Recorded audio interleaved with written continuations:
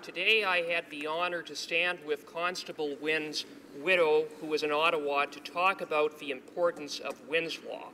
Wynn's Law would close a loophole in the criminal code that helped cost Constable Wynn his life.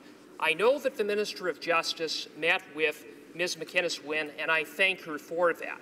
But since the Minister opposes Wynn's Law, can the Minister explain just when it's okay for the criminal history of a bail applicant not to be disclosed? Honourable Minister of Justice.